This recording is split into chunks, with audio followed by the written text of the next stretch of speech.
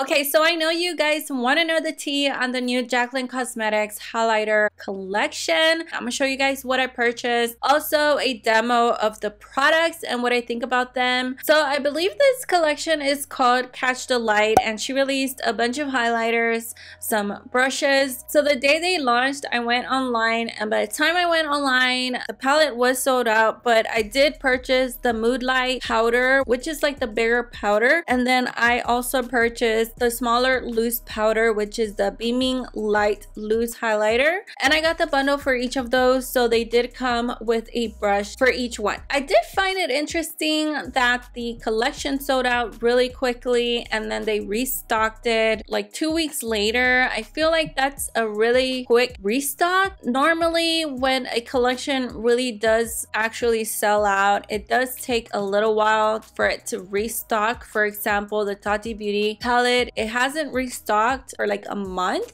And then the Jeffree Star and Shane collection, that's not going to restock till next year. I don't know. It kind of makes me believe that they made it seem like they were sold out, but they weren't really sold out. I don't really like that type of business like strategies, but I can see why businesses do that. But given the reputation of like Jaclyn Cosmetics, I feel like they need to be like extremely transparent with everything that they do. If they're not transparent with everything and they're not being honest, I feel like people are not really going to trust the brand and they're not going to want to purchase products from the brand. So I did want to just mention that right off the bat. I really want to cover like everything in this video. Getting into the products, I did get the shade Carats on the loose powder and the shade High Volt in the Beaming Light Loose Highlighter. I was actually really not that interested in the highlighter palette.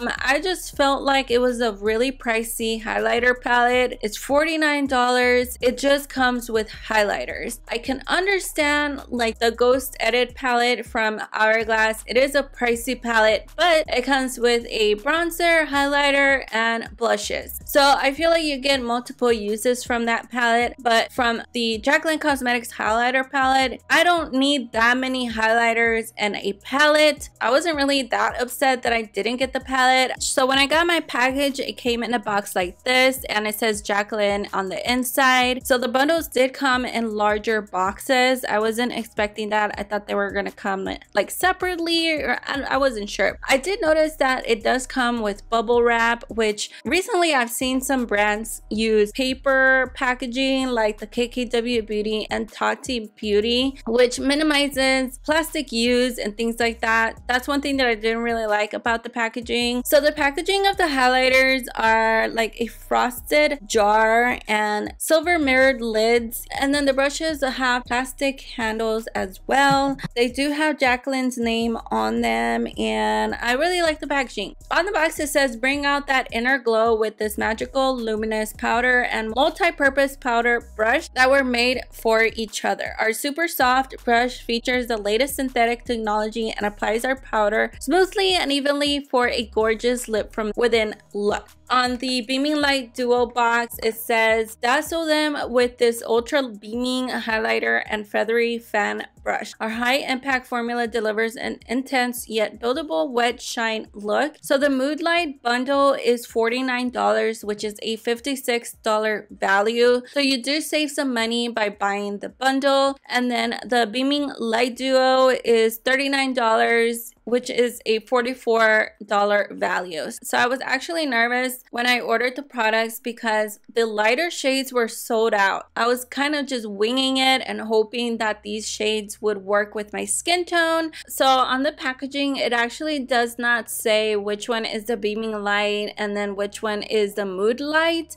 It does have the shade name at the bottom. So this one is high volt and it comes with four grams. The high voltage shade is a dazzling rose Gold, which is the middle shade. She did come out with five different shades, which I do like that she came out with a shade range. So there's something for everyone. So it covers a bunch of skin tones, which I do really like that about the collection. So it does come with a protective sticker that you take off. And then I went ahead and swatched it on my hand and holy cow, you guys, this highlighter is beaming. It is definitely a beaming highlighter.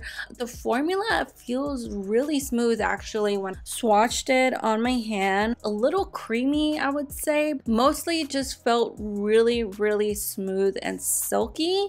For loose highlighters, I expect for them to be like super glittery, but this particular highlighter did not swatch glittery. It just looked really smooth, but like super metallic. I did swatch these in daylight so you guys can see like the true colors of the highlighter. And I was actually really impressed with the swatch of this highlighter. But after swatching it I do feel like this highlighter would go with my skin tone. I don't have it on my face right now. I am gonna try it on live. So moving on to the mood light. In the packaging you can actually see that it does have luminosity to it but the formula does look more powdery. The mood light powder is $32 by itself. The beaming light highlighter is $24 by itself. So the shade Carats is also the one in the middle. There's five different shades, which is a soft golden glow. So online it says that it's infused with diamond and rose quartz powders deliver a radiant finish. So it's more like a finishing powder to give like that lip from within look. Or you can also apply it to targeted areas for a soft highlight. When I swatched it on my hand, it also felt pretty soft and it blended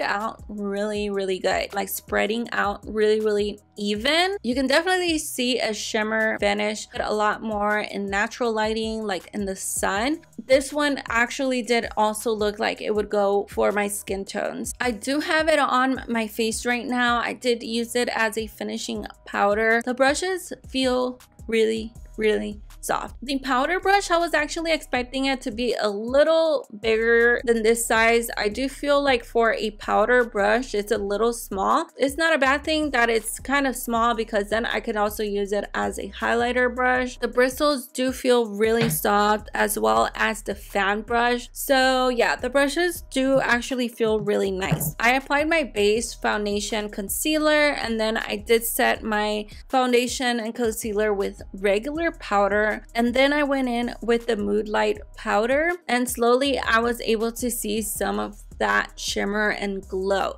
It's definitely really, really subtle. I was trying to show you guys one side compared to the other side to see the difference. On the other side, I did use the beauty sponge to apply the powder. Just applied it directly on my face and then I just started blending it out with the beauty sponge. With the beauty sponge, it definitely can see more of a glow and it does go on a little bit more pigmented. Luminous powder would work with my skin because I have oily skin and into powder versus using some type of primer that's glowy because it's just going to make me more oily. So I think this is a good powder for oily skin people. I do think that it does accentuate my texture and my skin though because highlighter always accentuates texture, especially on my forehead. I think I applied too much on my forehead. I would use a little bit less than what I did today. Um, I really went in with this powder but everywhere else it looks really really nice. The luminous powder comes with 10 grams. That's a lot. All right so i'm gonna go in with the fan brush. I'm gonna dip it in here and grab some of the highlighter and start applying it. Wow. Okay that is crazy. All right, y'all. I went in with the tiniest amount of this highlighter and wow.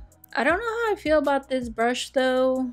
I think on the other side, I'm gonna try using this brush. Oh my God. Okay, we're gonna highlight the cheeks like Jaclyn because you know, we got them chubby cheeks. I'm blending it out and I can see that it's becoming more subtle. I guess if I want it to be more intense, I would apply like just a little bit more, but not blend it out so much. Just apply it on my nose. Cupid's bow. I'm gonna use the other brush now on this side.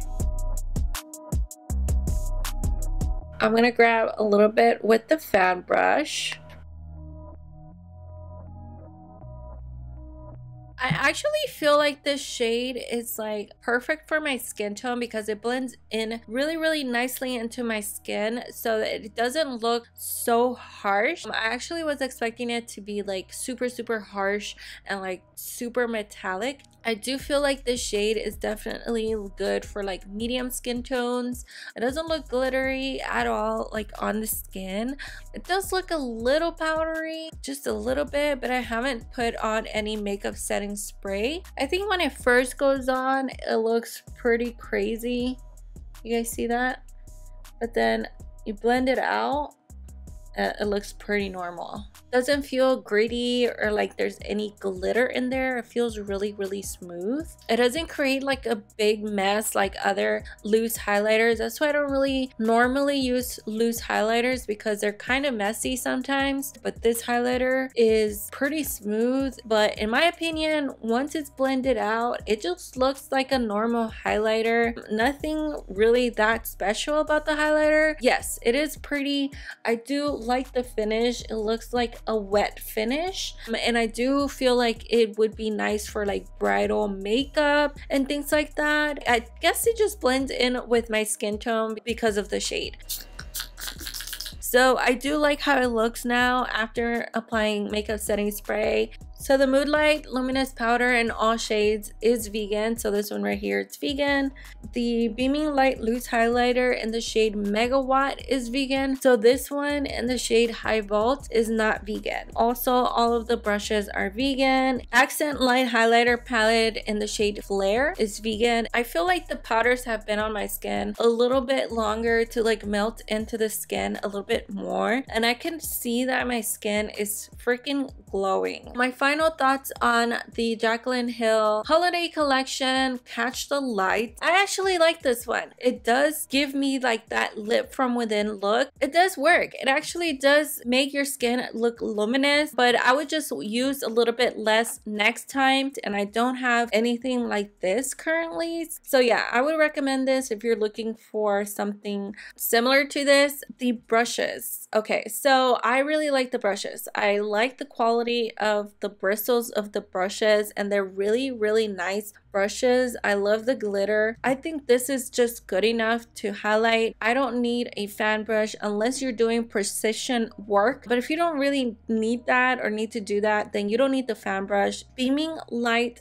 Highlighter. I actually think that this was like super hyped up because I thought it was going to be like super intense highlight. But it just turns out to be like a pretty normal highlighter. I've seen highlighters that have given me like the same finish and look before it is a good formula. It's smooth. For a loose highlighter, I do think it does have a good formula compared to like other loose highlighters that I have tried. And I really like the shade High Volt for my skin tone. It doesn't look glittery. I do like the beaming highlighter. I can see that they have improved a lot from the first launch of Jaclyn Cosmetics to this one. I do still think that there are some things that they could improve on, more transparency and things like that. These are pretty good products. They're not like shitty products. I do give her some props for this collection, even though it's supposed to be a limited edition collection, which I thought that these were going to be permanent. And I don't really like that they made these limited edition.